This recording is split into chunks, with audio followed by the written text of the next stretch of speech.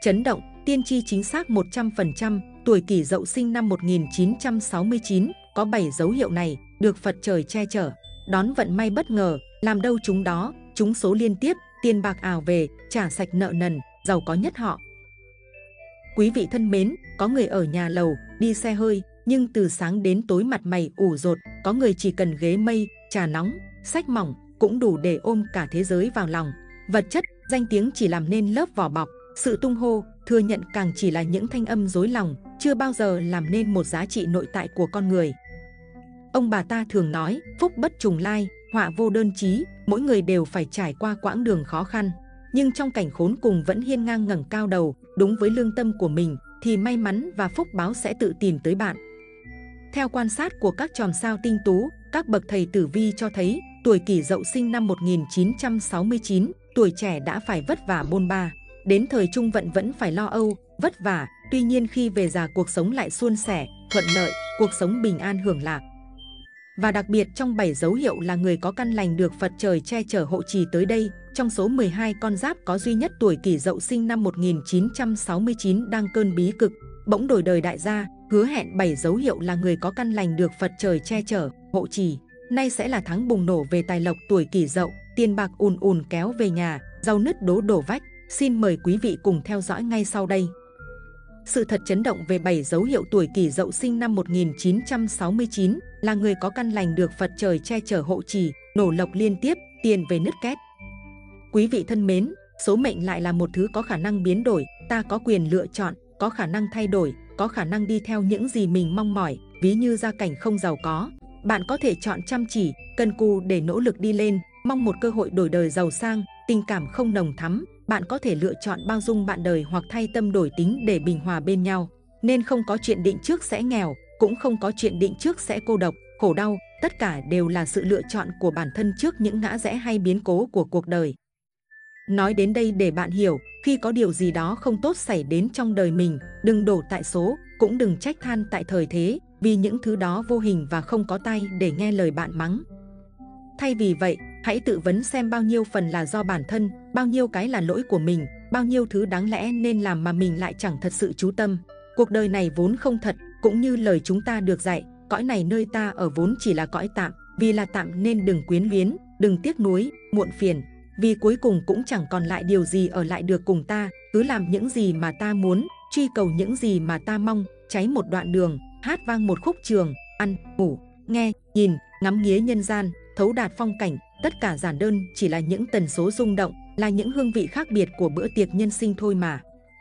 Ta không thể lái xe mà cứ mãi nhìn gương chiếu hậu được, nếu nội tâm lúc nào cũng an định tự tại, thì bất luận là ở trong hoàn cảnh như thế nào, chúng ta đều có thể cảm thấy thanh thản và ung dung, nội tâm lúc nào cũng đầy phiền muộn, chắc trở, thì dù có ở nơi phong thủy đắt giá, ngồi trên đống vàng thì cũng luôn cảm thấy thống khổ, đau đớn, mọi cảm xúc của con người, hỉ, nộ, ái, lạc, đều được quyết định bởi trái tim của họ. Nội tâm của con người chính là nguồn gốc của mọi thứ, là căn nguyên của sự phiền não, cũng là gốc rễ của hạnh phúc.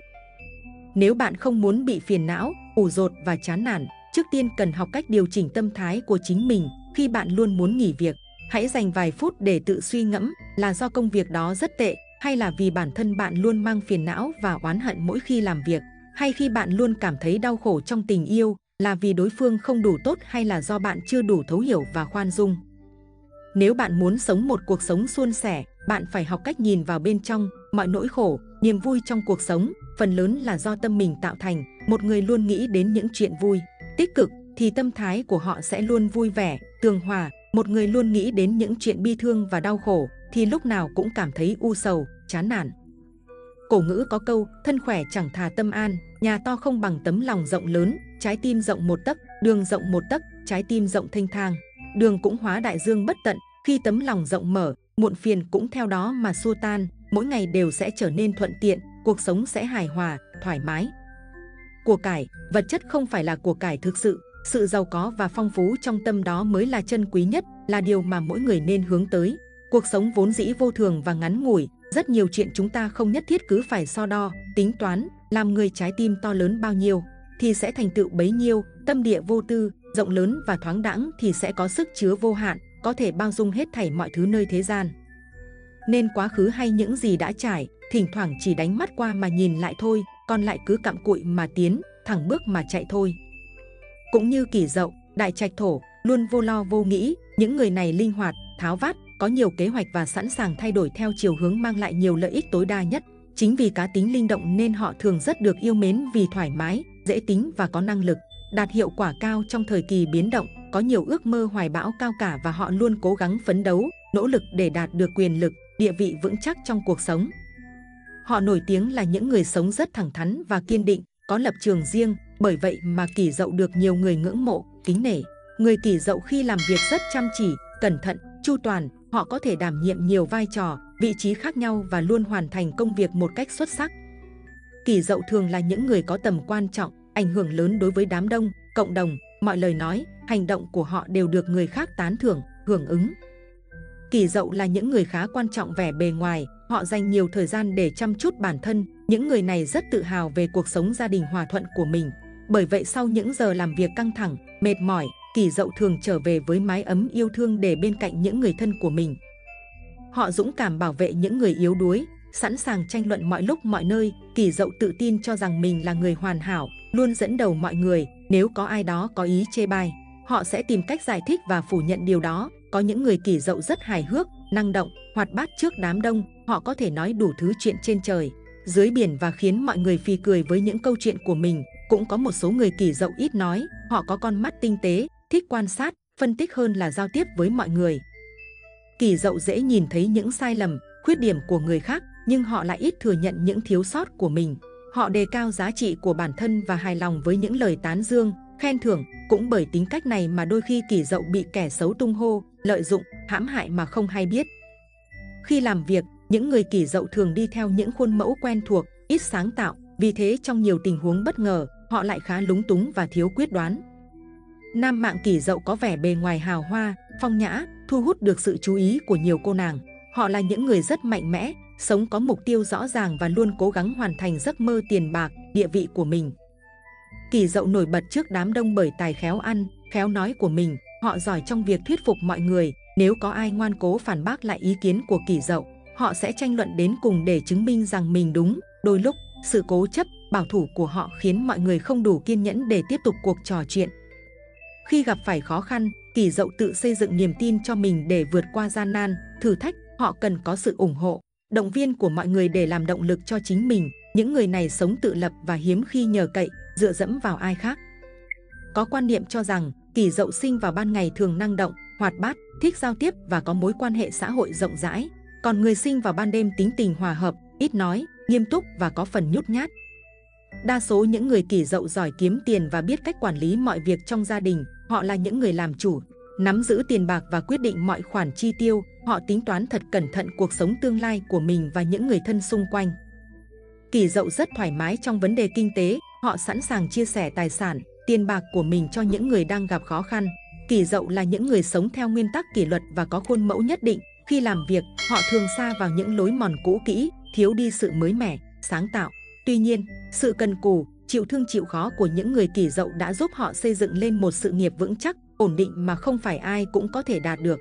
Những người này khá chăm chút vẻ bề ngoài, vì vậy họ sẵn sàng chi trả một khoản tiền lớn để làm đẹp, mua sắm. Kỳ dậu sẽ không bao giờ trưng diện những món đồ tầm thường, kém độc đáo. Khi xuất hiện trước đám đông, họ phải thật nổi bật với những bộ trang phục lộng lẫy, hợp mốt và không đụng với bất kỳ ai.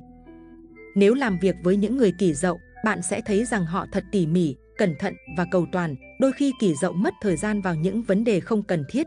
Dù bạn có cố khuyên nhủ, họ cũng sẽ bỏ ngoài tai và tiếp tục duy trì phong thái làm việc ung dung của mình. Nữ mạng kỳ dậu được mệnh danh là con người của thời đại, họ không chỉ đảm đang, tháo vát việc nhà mà còn có thể độc lập xây dựng kinh tế cho mình. Sự mạnh mẽ, giỏi giang, uy quyền của họ khiến cho nhiều người phải ngưỡng mộ. Bạn sẽ ít khi thấy kỳ dậu có rảnh rỗi, bởi đa số họ dành thời gian để phát triển công việc và bản thân mình. Sự chăm chỉ ở tuổi trẻ sẽ mang lại cho họ một tương lai tươi sáng, sung sướng và giàu sang. Tuy nhiên, đôi lúc kỷ dậu chủ quan làm việc quá sức, bởi vậy họ hay gặp phải những biến cố về sức khỏe. Những người này năng động, hài hước, luôn nổi bật trước đám đông và được nhiều người chú ý. Vì thế mà họ có đời sống tình cảm khá phong phú. Những người này tuy bề ngoài rất mạnh mẽ, cứng cỏi, nhưng thật ra họ sống giàu tình cảm, dễ xúc động, tổn thương. Kỳ dậu tính tình thẳng thắn, bộc trực, họ khó gây được thiện cảm với người khác ngay từ lần gặp đầu tiên, chỉ khi tiếp xúc nhiều lần và trở nên thân thiết hơn, bạn mới có thể cảm nhận được lòng nhân hậu, tốt bụng và trung thành của những người kỷ dậu. Đối với những người này, gia đình là nơi thiêng liêng và quan trọng nhất trong suốt cuộc đời. Mỗi khi gặp khó khăn, gia đình chính là nguồn động lực đầu tiên giúp họ có thêm nghị lực, sức mạnh để vượt qua những thử thách. Dù là trên phương diện tình bạn hay tình yêu, kỷ dậu ít khi bộc lộ, thể hiện tình cảm của mình ra bên ngoài. Họ thích được người khác ca tụng, nhưng lại vụng về trong cách khen ngợi, bày tỏ tình cảm với người khác. Kỳ dậu âm thầm thể hiện sự yêu thương trân trọng của mình qua từng hành động ấm áp, ý nghĩa. Tuy nhiên, đường tình duyên của những người kỷ dậu không mấy may mắn, thuận lợi. Họ phải trải qua nhiều cuộc tình mới có thể tìm được cho mình một tình yêu trọn vẹn. Dù là người rất trung thủy nhưng tình yêu của họ vẫn bị phản bội và gặp phải thất bại. Sự đổ vỡ ấy không hẳn hoàn toàn tại đối phương, mà cũng một phần do bạn quá nhạy cảm và nóng vội. Tình yêu của bạn cần phải có thời gian để tìm hiểu và phát triển. Đối phương sẽ bỏ chạy nếu như bạn quá hấp tấp, muốn kiểm soát, chiếm hữu người mình yêu. Nếu muốn xây dựng một tình yêu lâu dài, bền vững, phụ nữ kỷ dậu nên biết cách chủ động đúng lúc, không nên quá bạo dạn. Tự tin, nam mạng kỷ dậu thì cần phải học cách trân trọng đối phương, dành nhiều thời gian để xây dựng tình yêu của mình. Và theo tử vi, khi có 7 dấu hiệu là người có căn lành được Phật trời che chở hộ trì, thì tuổi kỷ dậu sẽ đón nhận những vận may nào và những điểm hung bạn cần tránh là gì? Hãy cùng chiêm nghiệm ngay sau đây. Theo tử vi, nhờ sự trợ lực của tam hội và mộc dục, nên giai đoạn sau này bản mệnh có nhiều tin vui mới, công danh. Tài lộc đang chuyển biến theo hướng tích cực và sẽ có những sự kiện hoàn toàn mới xảy đến không nằm trong tầm dự đoán của bạn. Khi có 7 dấu hiệu là người có căn lành được Phật trời che chở hộ trì, dự báo sẽ có nhiều cơ hội phát triển mới tại nơi làm việc. Nhưng đừng quá vội vàng, dù bạn có quyết định gì thì hãy suy nghĩ kỹ trước khi đưa ra để không gây rắc rối cho bản thân. Con đường phát triển trong tháng này của bạn được mở rộng hơn nhờ Thái Dương soi sáng, bạn băng băng tiến về phía trước. Dù có biến cố nào xảy đến thì bạn vẫn có thể vượt qua bằng sự tự tin và tinh thần lạc quan, hiếu thắng.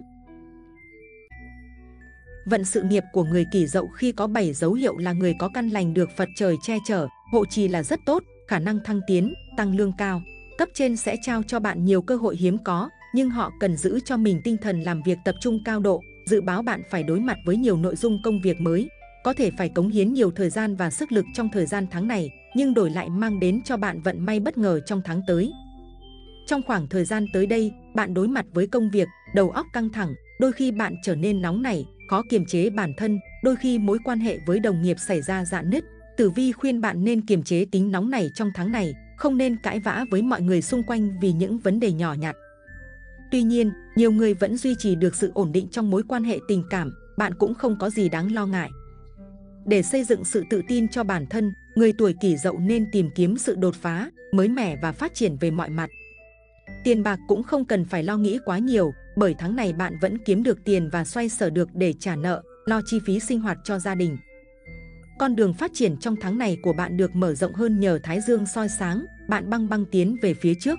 Dù có biến cố nào xảy đến thì bạn vẫn có thể vượt qua bằng sự tự tin và tinh thần lạc quan, hiếu thắng.